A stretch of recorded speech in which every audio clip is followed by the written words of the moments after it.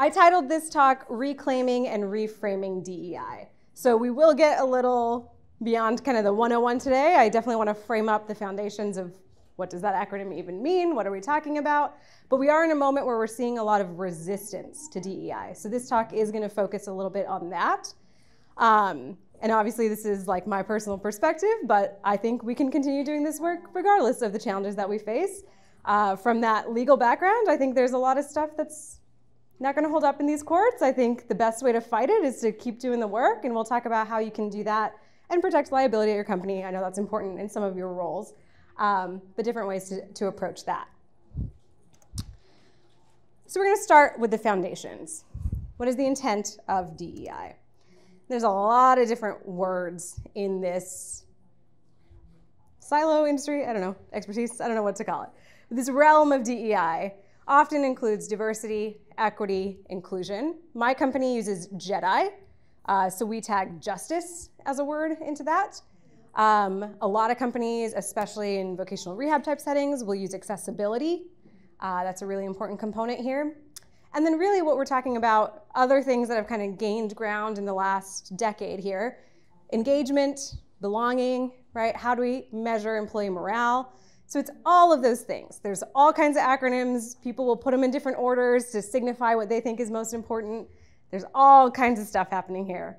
But I believe that all of that stuff is really culture work. We are talking about organizational development, we're talking about organizational culture, and we're talking about who's responsible for building that in ways that benefit our employees most. And there's a reason we do this. There's been plenty of business case talks on DEI. I believe we should be beyond that at this stage. Uh, it is important because it is important. Like that is a very crucial aspect of this work is buying into the fact that these systems need to be changed. There's a lot of business case and statistics that prove that to us. Our workforces are not representative, representative yet, right? We do not see folks, if you look at Fortune 500 CEOs, we're still talking about so many firsts. Here's the first person to do this of this identity we've got to get beyond that at some point, right? When we still celebrate the first, which we need to right now because they are big milestones, we haven't pushed into a world where we're representative, right? Because potentially your representation of a particular identity is zero. Uh, so there's a lot of statistical reason to do this. And there's a lot of outcomes reasons, right? The business case does talk about when you have more diverse perspectives in a room, you get better outcomes, you get more innovation, you get more creativity, you get more productivity that belonging, engagement side of it about how people feel in the workplace. They're willing to give you more if they feel comfortable. So there's a lot of stats behind that. Google it, YouTube it, ask me questions at the end if you want to. But we're going to walk in today with the assumption that this stuff is important and that you and your leadership are willing to invest in it. And we'll talk about how to sell that to leadership. Sometimes it takes you being the advocate, and hopefully that's what I'll arm you with a little bit today. Resistance. Lots of it in this field.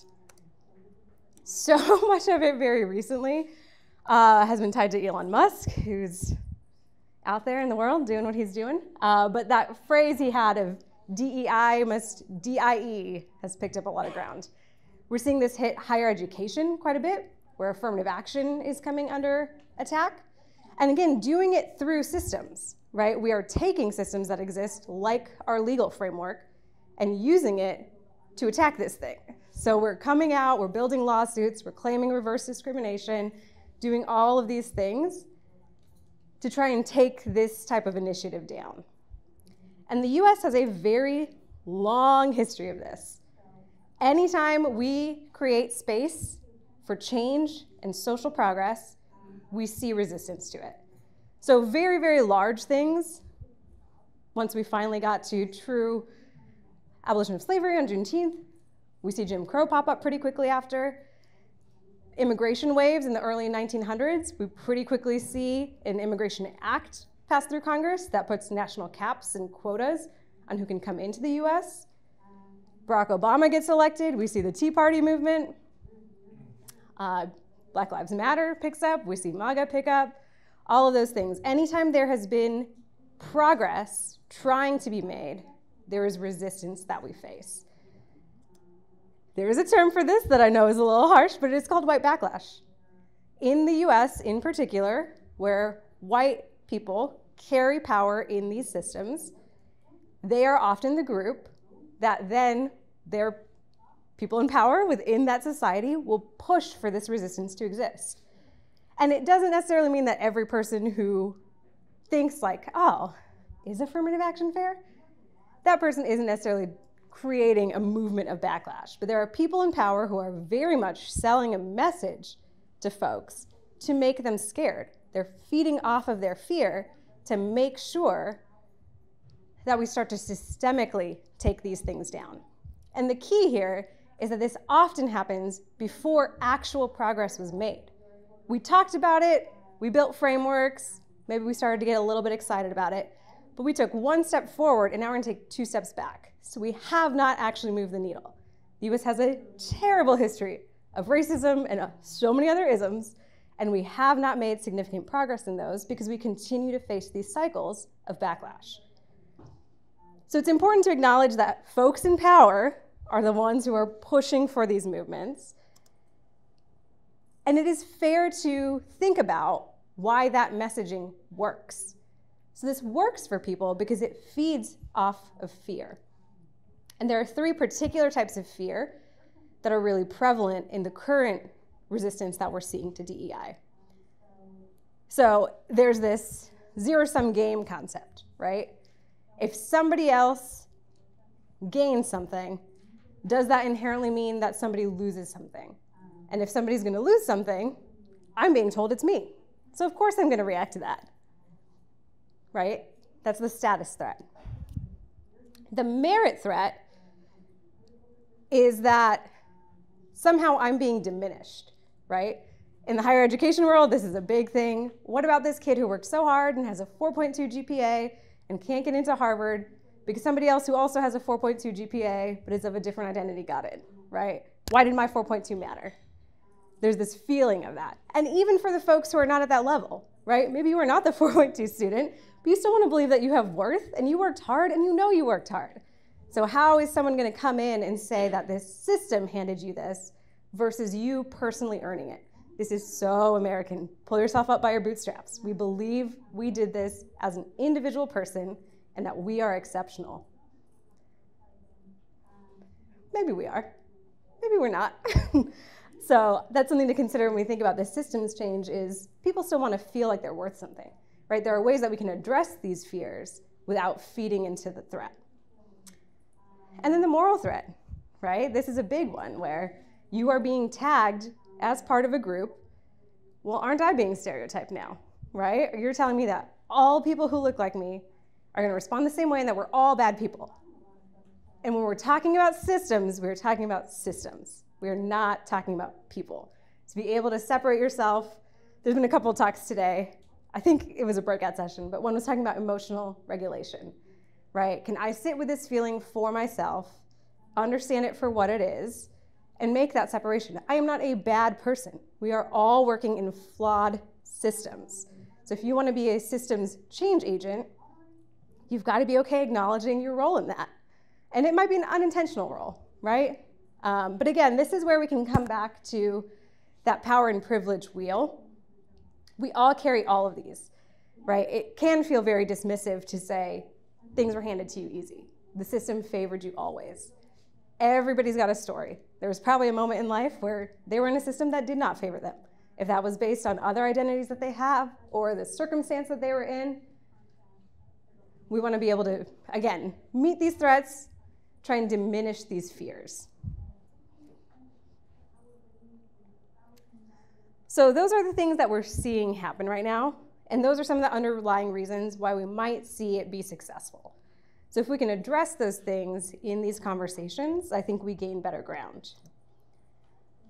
And in that, I do think we need to reframe this. So, talking about DEI, the way that we've talked about it, the way that we've seen really massive companies do it, we'll get to a section where we talk about things that folks have done that were probably not helpful. But I think we do need to start talking about this stuff a little bit differently. So, when we get down to what we're actually looking for, a just workplace is one where your identity is not a predictor of success. So our outcome is not necessarily here's this great pie graph that shows representation. We're going to hit this representation exactly inside our 20 person small company, right? We're not pushing toward an outcome that is already dictated to us. We're kind of doing the opposite. We're pushing for an outcome where your identity is no longer a predictor of your outcome. And that slide, a few slides back, uh, showed all those stats where right now it feels like it is a predictor. There are so many reasons why somebody could believe they would not get that promotion, they would not get hired, because there's so much data to show that that's happening. So we're trying to get to a world where your identity would not inherently set up your outcomes for the rest of your life. That's the world we're striving for. And that hopefully feels like it benefits everybody. Those fears that you might have of being replaced, of not earning what you have, shouldn't exist anymore. Because on all sides, your identity shouldn't be the predictor. So that's what we're working toward, I believe.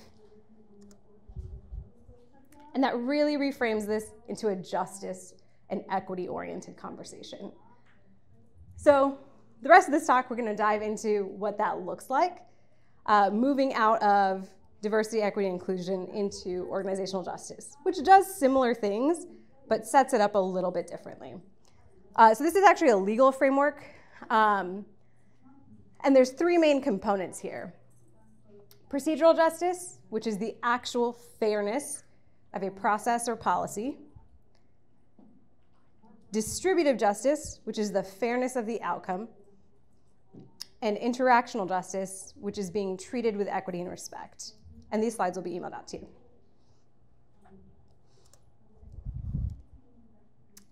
So, the way that I like to think about that within organizations, I always start with equity. I do think this is equity forward work. I think when we're striving for justice, we have to think of this in terms of creating equitable policies, procedures, and structures. So this really plays into how do we see ourselves in these systems. For me, building an equitable workplace really falls on the people in power, right? You can't take the person who just joined your company two months ago as a staff member and make them make it a more equitable workplace, right? Their presence there did not change the dynamic of your workplace. This is the responsibility of managers, of HR folks, of executive leaders. The folks who already have the power need to be the ones who are setting up new systems, new processes, new policies that will break what is currently in place. This is systems breaking work, which is fun and exciting and creative and scares people. Interactional justice, for me, is really linking back to that inclusion. So this is where folks feel welcome. And this I do think is the responsibility of everybody, right? I know we've done a lot of DEI trainings in the past few years. This is where that stuff matters. You should be out there learning about perspectives that are different than your own because you are responsible for how somebody feels at your job. Whether it's your coworkers or somebody who's walking in the door to access your services, that one-on-one personal interaction you are responsible for, regardless of the system you're playing in. Maybe you have leadership that are not willing to change. We talked about this in, uh, I think, that same last session.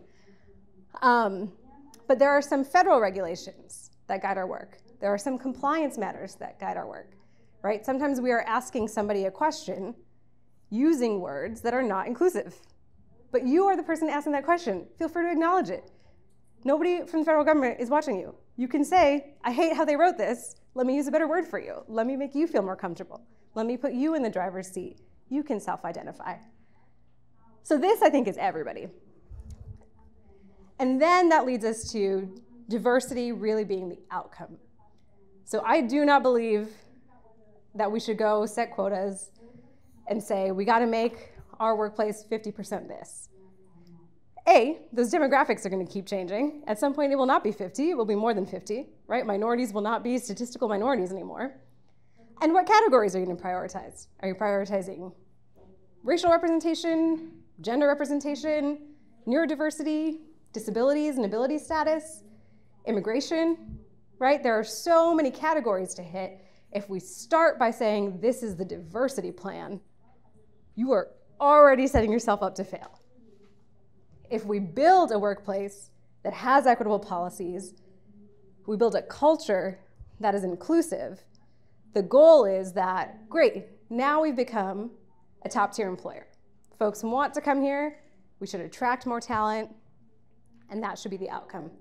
You do want to measure this stuff, don't get me wrong. You want to track it, you want to make sure it's working, you want to see where the gaps are. Um, but we don't start there.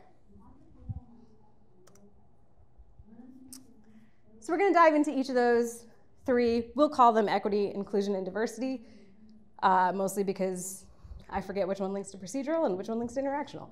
Uh, but these are easier words to keep track of. So equity is embedded. Equity is about your process, it's about your systems, it's about your policies. And again, this is the responsibility of folks in charge. Those people in charge, there's other models we could talk about too, where they go out to their community, right? If you are an HR person, go to your employees. You should check in with them as you pass these policies. You should make sure you have ways to check your own power. But you are the person who's ultimately responsible for that. So, in order to start these conversations about equity, we have to have some things that are already agreed to. That we want this world. And that's a big question. I've worked in industries where they say they want it, but then suddenly they're forcing everybody to act the same way. They're forcing everybody to do things exactly how they would do it. They're teaching us how to become them, right? We've started under a false pretense. If you are not open to people being different than you, you cannot do this work. That is the baseline. Again, people with power, they need this understanding. So before you try and run any kind of training for your full staff, make sure your executives are on board. If they're going to be the ones who raise their hands to ask the question that suddenly makes it an unsafe space, you have lost more ground than you have gained. Right? You want the people in power to A, be ready to reflect themselves, and B, be ready to support you as you are pushing for these structural changes. And that willingness is here again. Are they willing to actually do it differently? Or do they already have something in mind and we're just, again, acting under false pretenses here? And that they want to create more opportunity. And this is a hard one for leaders to reflect on. This is not a zero sum game, right? It does not mean someone's being replaced with somebody else. But to shift these systems and to shift these power balances, somebody does have to give up a little bit of power. If you've got an executive board that makes their own decisions on their own without ever asking for feedback, they have to be willing to rethink that, right? If they really want to operate more inclusively, they want to take diverse perspectives into account as they push policies forward, they have to be willing to give up that idea that they are the most important. And this is where you can come back to those threats, right? I'm sure there's a little bit of status and merit threat here. I got here because I worked hard. I got here because my ideas are good. Great. We can celebrate that. But we can also acknowledge other people have great ideas too. Can we get those on the table? Are you willing to take those into account? So, this is the big work. This is a lot of conversations. Um, but that's really where you need to start if we're going to talk about systems change. And then you engage in kind of a process that leads us to how we actually get to the new system. So, again, engaging leadership is the first thing. Make sure those three conditions are met, folks are on board. And then define what it is that you're looking for. What is it about the current system that isn't working? Is it that you're not getting enough folks who are walking through the door to access your services? Is it that people come and take your trainings, but when you track your placement data, you're still seeing disproportion in terms of pay equity? Right? What is the actual problem that you are trying to solve? Is it that some folks return and some folks don't? Who are those people? Why are they not returning?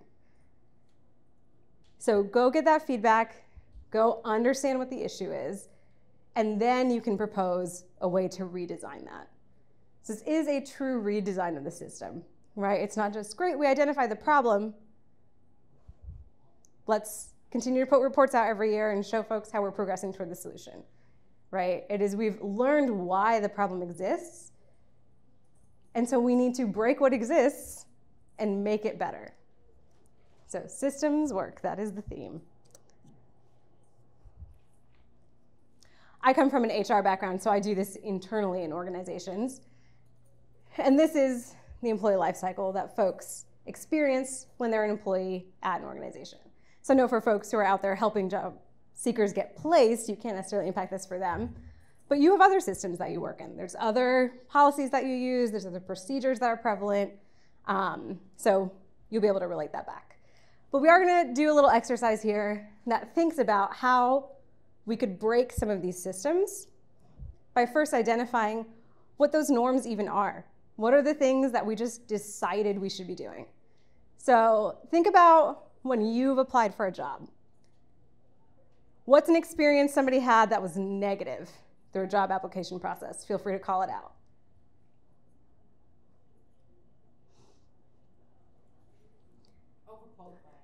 Yes, that's a huge one. Being told you're overqualified. There is no best practice, there is no legal statute that says you cannot hire an overqualified person. Maybe that person's going through a life change. Maybe they really need better work life balance. Maybe they just decided they want to slow down, right? Automatically kicking someone out for that can be really dangerous. And we're running into, I see you in there. Um, we're running into where technology comes into play this. There are AI systems now that will screen your resumes for you. If you're at a company that is large enough to do that, please take a look at how that technology is working. If you said two years in your job description and someone has six years, it might be kicking them out. And that might not be what you want. Uh, yeah. Oh, I just, I always love the ubiquitous fit, which is, just opens up a whole Yeah, culture fit. Yeah right? You probably have been in some interview processes where they ask you some culture fit questions. I was in an interview process for an HR and equity role where they opened the interview with, if you were a vegetable, what vegetable would you be? How does that relate to anything that we're talking about? I said purple cauliflower, and then I was like, blah, blah, blah. Cauliflower is, gives you nutrients, but it's purple, so it's different. It's very odd. I did not get that job. and it was funny too, because then like of the interviewers, like they clearly hadn't practiced this question. So like three of them said potato, and I was like, you all could have come up with different answers for yourselves at least. But there's a lot of these. Recruitment in particular is an easy one to flag because we've probably all applied for a job before. Salary transparency, the resistance that we see to salary transparency or how companies will wait for it to become a law in their specific state. How many of the jobs that you are hiring for require somebody to have salary negotiation skills? That is the only reason to not post a dollar amount is because you're trying to test their ability to negotiate or you're trying to save a dime. Neither of those are good enough reasons. Neither of those are supported by any kind of compliance measure.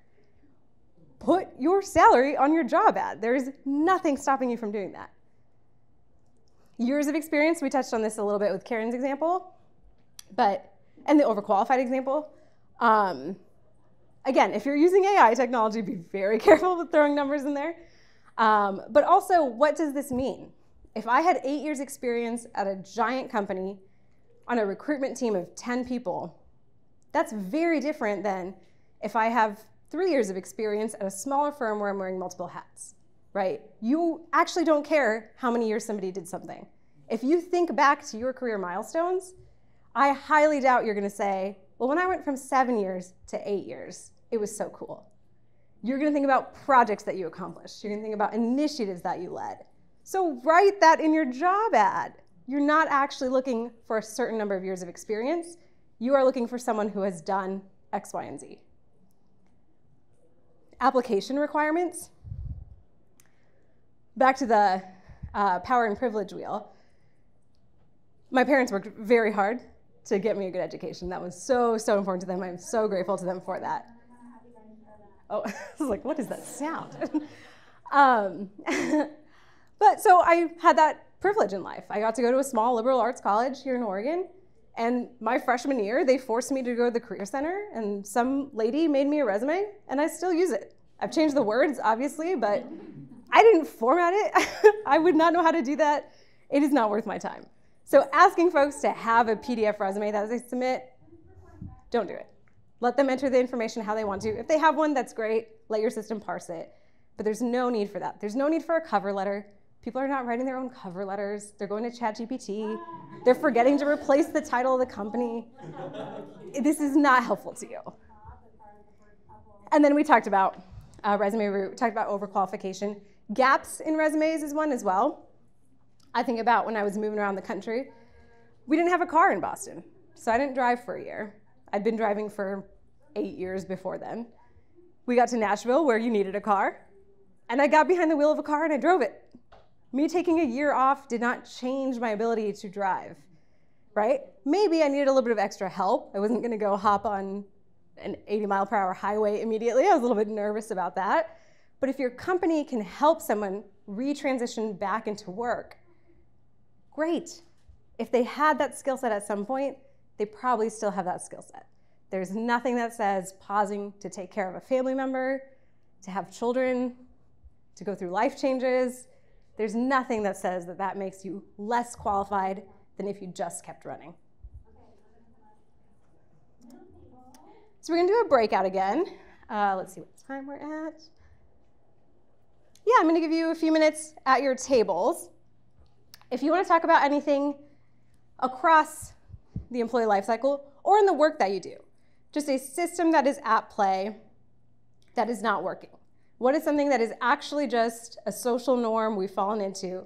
We do it because we've always done it, versus it is something that actually truly has to be done that way.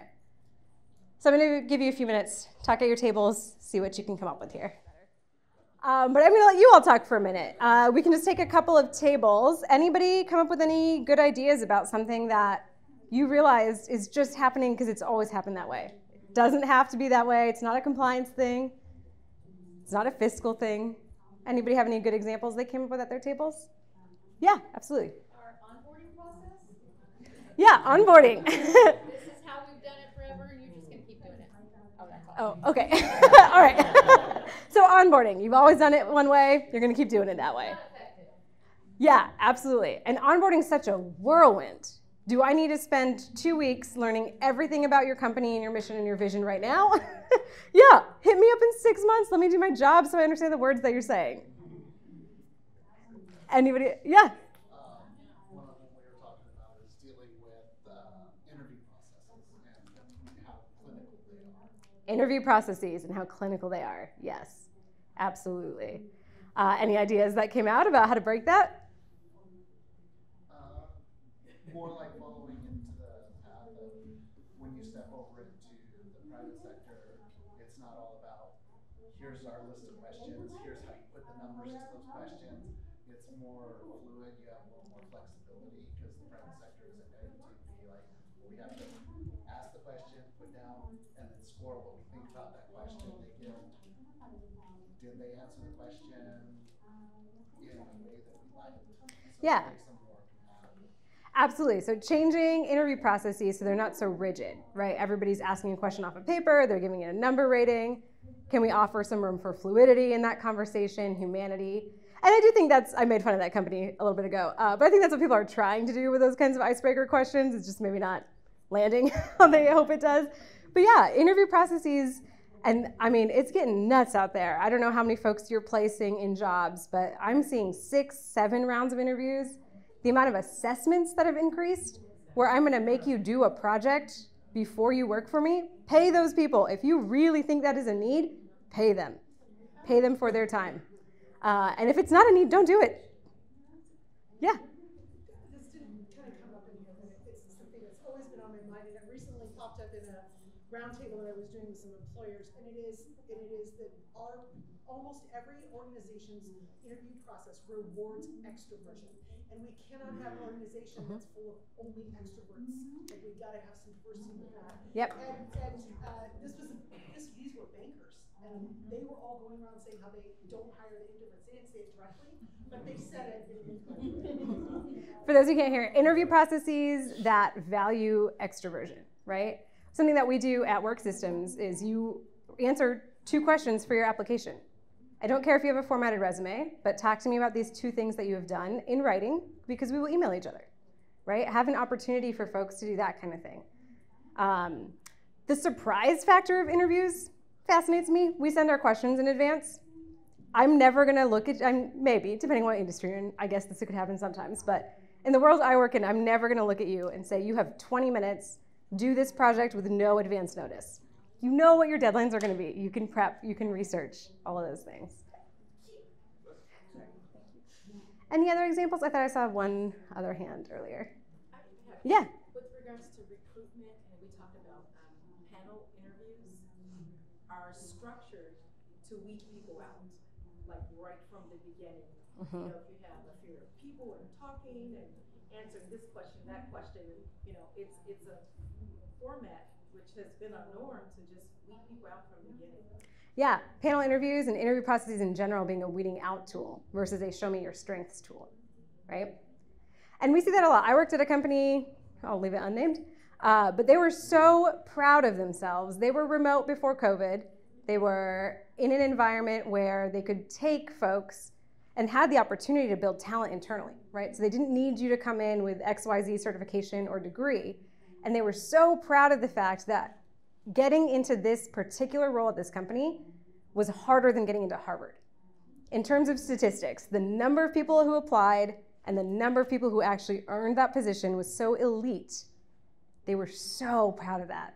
And I was like, this is not the way that we want to welcome folks, right? Lean into people's strengths. Yeah, if you're doing something intentionally to kick someone out of the process, what did any of you gain there? So yeah, like I said, there's lots in recruitment. There's lots across the employee life cycle. You may have examples of this at your company in terms of how folks get promoted or who gets promoted. Compensation philosophy, we can dive into a lot of stuff there about the formulas that people use and what that rewards and what it discourages. Um, and then again, this is obviously an HR driven model, but the work that you all do with clients who walk into your centers, uh, with students who are looking for different pathways, uh, think about those things, right? What are things that we are telling these folks they have to do because we've always done it that way versus there's an actual reason? Yeah. I, I love that you're having us think about it this way, and I've had a recent career change, so I have you know that kind of to reflect on. I appreciated and actually kind of look forward to my yearly evaluation. I wanted and craved something specific and measurable to know about my performance. When I think of reimagining that, I'm wondering what it would look like if I had the opportunity to give specific and measurable feedback either about my direct supervisor or the organization itself and how that feedback would really contribute to growth as opposed to a kind of a tit for tat. I think that would be pretty awesome. Yeah, so talking about performance evaluations and that opportunity to get feedback for yourself is important. Is an opportunity to give feedback to the company, to your direct manager. And I would, performance reviews are a whole thing. I would think about how your company's executing this. If you are the HR person, I know a lot of companies will set KPIs, OKRs, use these crazy acronyms. Some companies will make you set your own goals. Uh, I've been a manager in that situation, and I've had someone rewrite their goal to be easier because they wanted to meet it. Like, that is the opposite of what we are looking for, right? I like to do three questions What did you contribute to us strategically? What did you learn this year? And what do you want to improve on next year? Take that opportunity to chat. Keep your feedback real time so you don't have to wait for an evaluation cycle. All of those kinds of things. So, again, this is a little HR specific, uh, but hopefully, this idea of systems change, breaking social norms, hopefully, that's applicable for you in other realms as well. So, that was the whole equity section, right? Systems change, folks in power leading that. Now, we're going to talk about inclusion, which does involve everybody at your workplace. And again, lots of words here. People are now measuring belonging and engagement in a particular way. There's a great platform called Culture Amp. Uh, if you are looking to measure this for internal employees or folks who access your services, I think it's a great platform. They've got organizational design PhDs on their staff who write these questions for you. They've got ways to cut the data by different types of demographic groups so you can understand cool, 60% of our workforce is engaged. Who are those 60%? Being able to break that down can be really helpful. Um, so, yeah, these words can be belonging, inclusion, engagement. Um, but these are kind of the categories that we're talking about. So, the worst version of this is exclusion. I don't feel like I belong. I don't feel welcome here. And then there's kind of two ways that we can split off where we're almost meeting the mark, but we're not quite there yet. So that is differentiation. I am different. People know I'm different, but that makes me uncomfortable, right? Or I am different and I don't have the same opportunities because I'm vocal about the fact that I'm different. I don't get to speak in meetings because people know I'm going to bring a different perspective, whatever those things are. On the opposite end is assimilation. And this is interesting, again, as a daughter of immigrants. I was very much raised to assimilate. That's how my parents survived, and that's what they thought would set me up for success. And I get it, I get where they're coming from. I am different, I know I'm different, but I don't need you to know I'm different. I'm gonna speak how you speak, I'm gonna dress how you dress, right? This is where like professionalism can come into play a lot. We ask people to assimilate. Be professional. Dress for work a certain way. Dress for your interview a certain way. Speak at a certain cadence. All these things. Be extroverted when you're introverted, right? If we're forcing people to not be different when they truly are, we didn't gain anything, right? We have not moved the needle in terms of innovation, creativity, perspectives, because we force them to be the same as everybody else. So, true inclusion, true belonging, that is, I am different, I know it, you know it, and we're all okay with it. Right? This is not we tolerate difference, this is we respect it, we honor it, we validate it.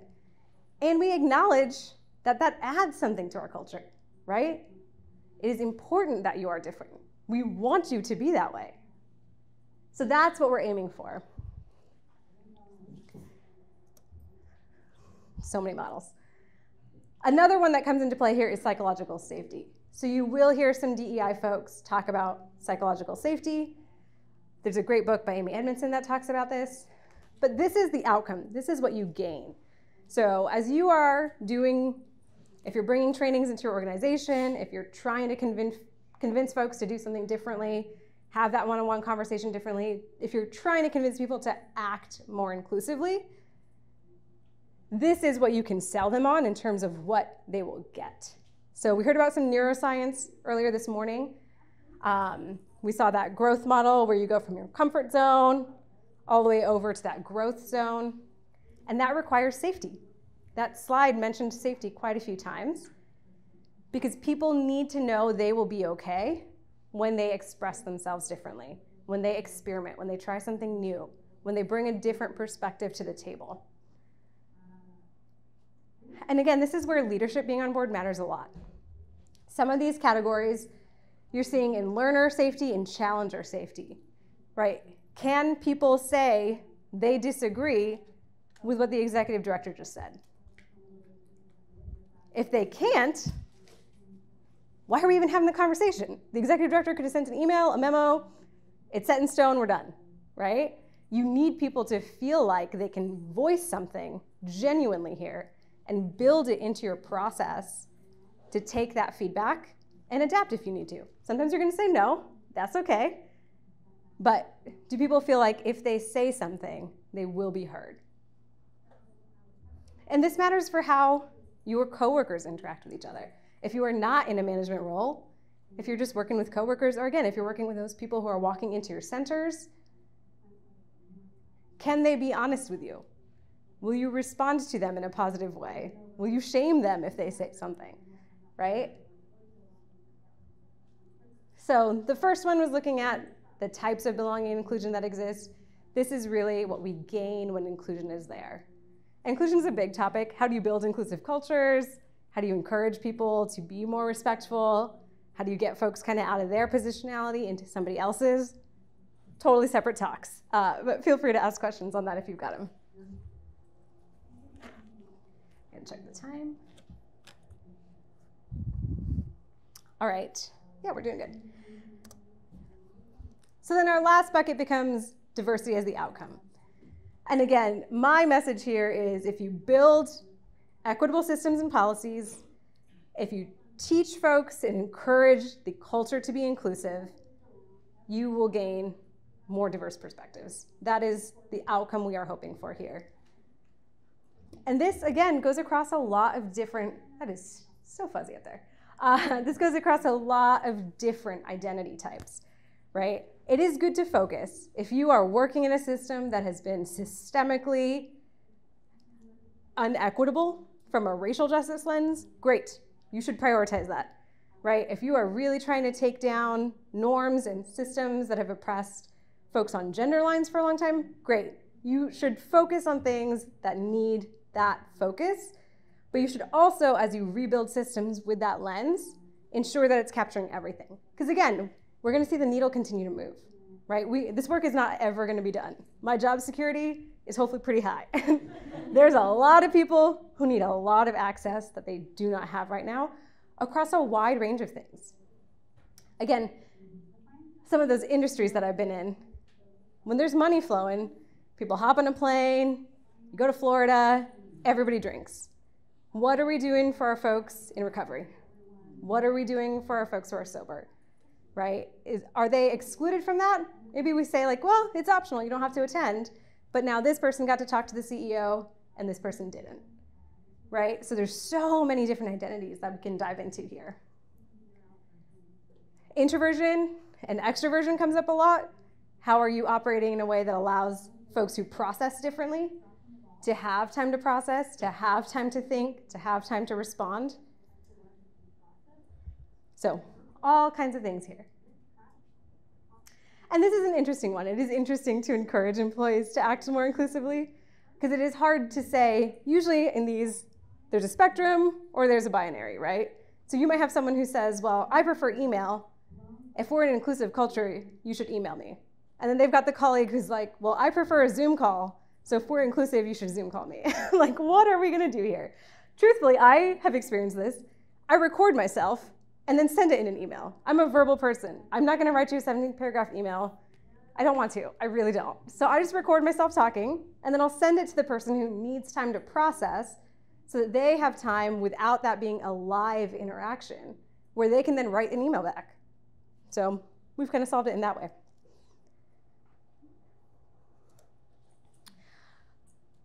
My message is that equity inclusion will lead to diversity. So I'm not handing you a roadmap to diversity.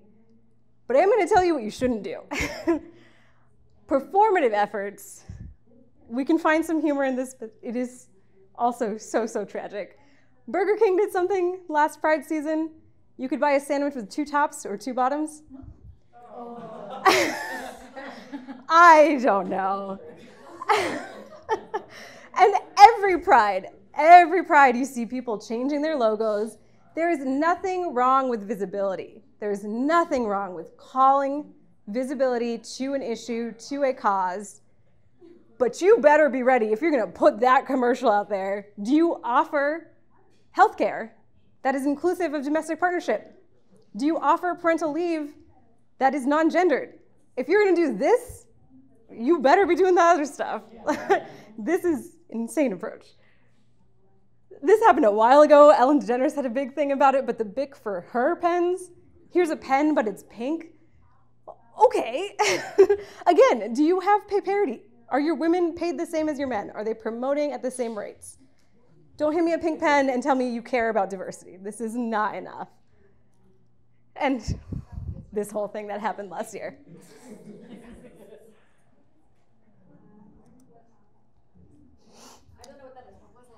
Oh, the, the last one was Nancy Pelosi and people in Congress just like put on these cloths and like kneeled for a minute. I think this was around Juneteenth. I would, I don't know what else they would have linked it to, but it was not.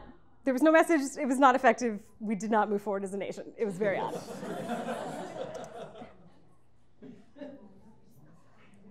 There's also a really big concept here of tokenization or using people to make yourself feel better right? We, again, going back to those fears and threats, there's that moral threat. Am I a bad person? Do not use somebody else to make you feel like a better person. That is not their job. I wish I could play this clip. I couldn't find it on YouTube, uh, but this is from the movie American Fiction, which came out recently. Great movie if you haven't seen it. And there's a great scene. This main character is an author, has been an author for a number of years, decades and gets a call from someone who runs these literary prizes. So he gives out literary awards. So this white man is on the phone with this black man, and he's saying, like many American institutions, Mine was recently rattled by the notion that our lack of diversity has led to a blind spot in our work. So, you know, we're trying to remedy that. So he's offering this person a judgeship for this award. And this author says, Let me first say I'm honored you choose me out of all the black writers that you could go to out of fear of being called racist. Do not put people in that situation. If your company just came under fire because somebody flagged something that was an issue for you, do not make the solution immediately finding somebody to bring into the organization so you can say, look at me, I'm not this ism because I have this friend. Like, that is not going to work and will likely make it worse. If you do not have those equitable systems in place, if your people are not ready to accept and respect and validate that person, you'll likely see some turnover and then you'll get more bad press. Like, this does not solve it. It is not the way to go about this. So, there's a lot of things that come into, again, measuring these things, showing folks you're making progress, analyzing truly good and equitable data to see where the gaps are and where you can continue to make systems changes to see improvement. But I very much caution against starting from a place of, I need this many people of these identities, let's get them into the workforce and increase our representation, right? Don't just take photos and throw them on your website. In college, I'm like, I know a lot of people have this experience, I'm like all over the college website. Oh, great. like that didn't need to happen. It doesn't help to do it that way. Just make it a better experience for folks, and that will gain far, far more ground than any kind of PR campaign you can run here. Right, oh, I'm doing great on time. So the main message here, think about equitable systems, think about systems change when we're doing this work. We are under fire right now. So that resistance is there. It will pick up. We'll see what happens this election season. We may see another executive order that comes out and says you're not allowed to do DEI work. I encourage you to think about this in terms of how you can still do DEI work. It is important to use those words. It is important that we call these things out and name them, but it is also important to continue the work despite that resistance, right? If something comes out for higher ed that says stop DEI efforts, and you're in workforce development or nonprofits, fight your leaders on this a little bit. They don't have to obey that order. They're not in that sector. This doesn't impact them. Take the risk. Be the company that continues to push this stuff forward so that we can prove whatever lawsuit is in play right now has no basis, right? Do systems change work? If suddenly you cannot call it, here is our equity plan. Call it literally anything else. Update your HR policies, update your handbooks, make these changes regardless of what people try and tell you you can't do. None of this stuff, when we're thinking back to that exercise, is dictated by law. If there is not a reason that liability for your company increases, that cost for your company increases, there's no reason not to do it, right? We think that some of this stuff is being forced on us, and it really is not. This is my little mirror side. The future of work is you. Surprise. you all can lead this. Um, so, yeah, and, and feel free to strategize with folks about that. Um, I'm a millennial, so I didn't bring business cards, but here's my email. Uh, you can find me on LinkedIn. Feel free to shoot me questions. And we've got about 10 minutes before this session ends, so I'm happy to take any other questions from the audience now. Yeah. Yes.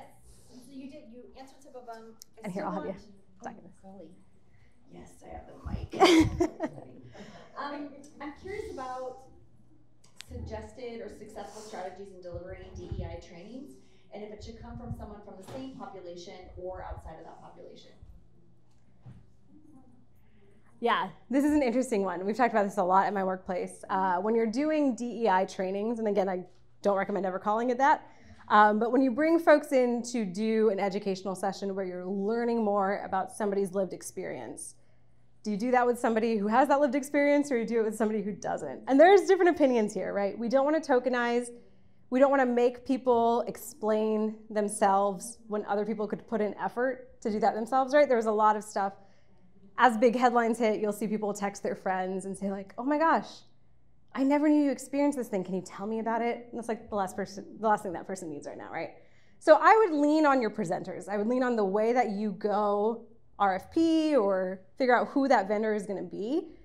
Frame it up with the outcomes. We want folks to learn X, Y, and Z, and let people apply if they're interested in giving that talk. If they come from that experience, I always think that's really powerful. Uh, but that way, you're not just like handpicking someone and being like, I know you're of this identity. Come talk to us about how that's been for you. Um, so I think it's really dependent on the person. Uh, yeah, and a lot of, I think, inclusion is choice. There are some trainings out there that are also about language. How do we speak about people? How do we even ask these questions, right? For folks with disabilities, are we people first or are we disability first? And that's different for each person. So the best way to do this work, I think, is just asking questions. So I would frame up that proposal that shares what you're looking for. If somebody's comfortable giving that talk, great, give them the opportunity. I think that's fantastic.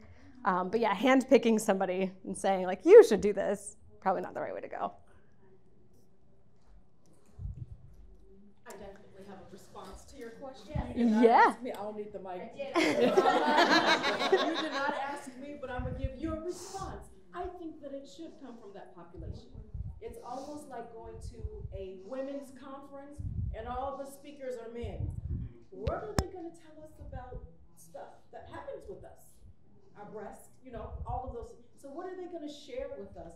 Because they don't have the experience. They don't have, uh, they're not embodied, embodied in a woman.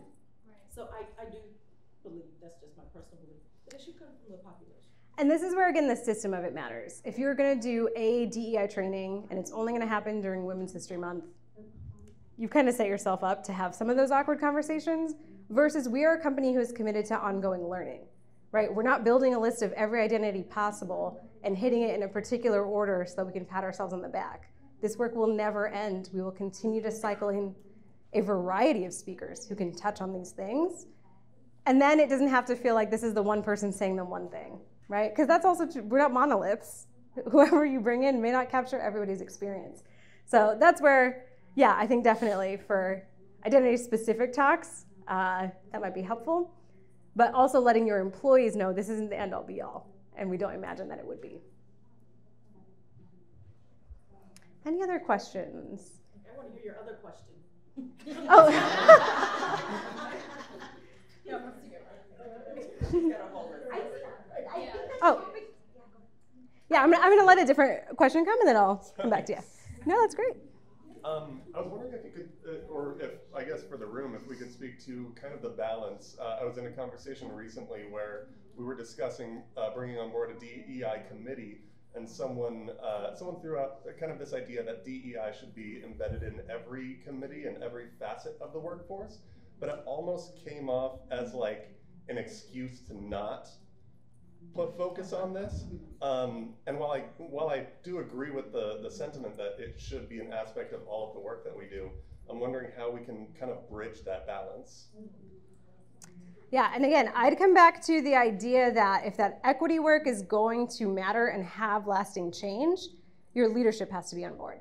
If your leadership is creating a DEI committee of employees to go execute this work for them, no. like that is definitely not the route that you want to go. Those employees can't make those changes. I really like advisory groups where we've got employee representation, and the way that we embed this across things is that when a department is going to take an action, they can run it through this council. And your executive leaders sit there as sponsors and say, okay, great, we will now go support this change. So I do think there's a balance there in terms of we don't want to put that work, and again, like who's in that room can be very interesting too. Oftentimes we tag this work to folks who have some kind of lived experience, and now we're weighing them down. They're doing it in addition to their job. Let them choose to be in the room, right? Compensate folks for that extra time if you can.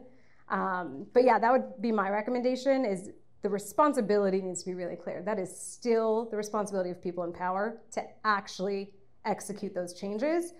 But get an advisory group in place that can help educate, that can help vet, that can offer feedback, all those things. Any other thoughts in the room to respond to that? All right, and then did we have a second question here? I always have a second question. I did the, the training thing. I just I feel with close proximity to many folks who come from white male you know backgrounds. I feel like sometimes there's more power that would come in their shift in thinking is if they heard from somebody else who is like them, somebody who has you know felt this. You, know, you did your phrasing well. I'm not trained for this part. I have this conversation very regularly to the point that it's exhausting, right? But that focus of yes, you're feeling marginalized right now and you feel like you are a bad person or you represent something bad, but there's there's more to what's happening right here. And I think that the honesty of that conversation coming from someone who looks like them may carry more weight and push them further than a nagging wife, hypothetically. Um, so I just I just wonder about all these different ways that we can have these conversations. Not that one would be better than the other, but what that can look like in advancing this conversation, acknowledging that some of these topics are uncomfortable, and that's okay to be uncomfortable. Let's get past that and move forward.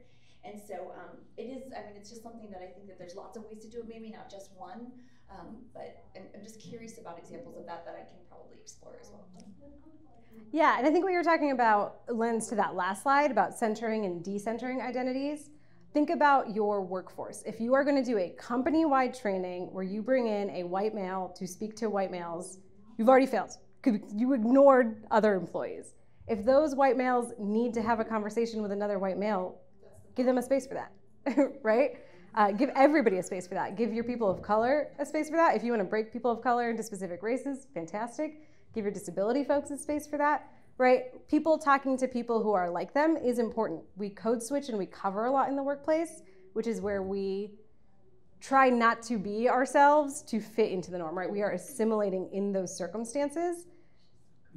And doing that, I think, taking the pressure off to do that is really good. Like I've certainly sat in company-wide DEI trainings, especially in the Pacific Northwest. We're very white liberal. We fall into that stereotype where people are talking amongst themselves about like they're asking these types of questions, right? Like we're doing a training on this, who do we bring in? Or I feel so guilty about this, or I feel so bad about this, or like I'm processing right now and like I don't have capacity for you right now. like, so it is important, I think, and that is the thing. When we think about this work not as check boxes, we're doing training. How do we do training in one specific way? Create a system where training is always talked about, where ongoing learning and space for conversation is always there. All of those things. So all of these answers are going to be like, do it all. um, but if you can build that into the structure, uh, you might not even need to formalize that space a few years down the road. Employees just lean on each other. Uh, we are coming up on time. Is that what you were flagging for me? do you have a question? Well, I don't know if it's a good question, but since I just came here, I'm pressing record. so I think this is an, I think, kind of, So let, me know if this helps. Um, I appreciate and uh, I run my own business as employees and everything, and I really enjoy um, every time when I walk into an office for clientele, you have you know, white people who they're there to help you and they, they want to encourage you and, and build and all that good stuff. But sometimes it feels like like you don't want them to you don't want them to feel like they're below you, like oh they're willing to do anything for you. Like you want them like no no no don't give me a handout. Just just give me an opportunity. Me gain your service or let me gain your trust and everything. And so how do you tell them that they don't have to do that without telling him they don't have to do that? Does that make sense? Yeah, for sure. Again, we want to be careful of power dynamics, right? If you're talking to your boss, regardless of that person's identity, if they tell you to do something, it's going to feel like they're telling you to do something, they're your boss, right? So acknowledging those dynamics in the room, maybe setting up a mentorship program where it very intentionally is not your boss. It's just someone where you can come and say, I have this professional question. Can you give me some advice? Can you coach me through this? I think there's those kinds of approaches to it. Because yeah, I, there's so many dynamics there where race could play in or position could play in where they might be trying to be nice, but regardless of that intent, the impact is my boss now told me a thing. I feel like I have to do it the way they told me to do it. Um, so yeah, hopefully that answers your question. Thank you. And the other thing there too, I think, is identity is interesting. All of us, again, I think seeing yourself as an individual and a part of a system simultaneously is the work, and it is very hard. It is very nuanced. But I've certainly had women identified managers who are so cynical about what they've experienced. Their advice to me is play into the system more than a male manager I might have who says, be who you are, right? So leaning it just on that, I think, is not quite enough. Um, it really is about trying to think of the entirety of who we are, the entirety of the system we're interacting with, uh, and that's why it's difficult. We are at time. I will hang out if you have other questions or if you want to connect. Uh, again, find me on LinkedIn, shoot me an email. Happy to continue these conversations. But thank you very much. You've been a great audience.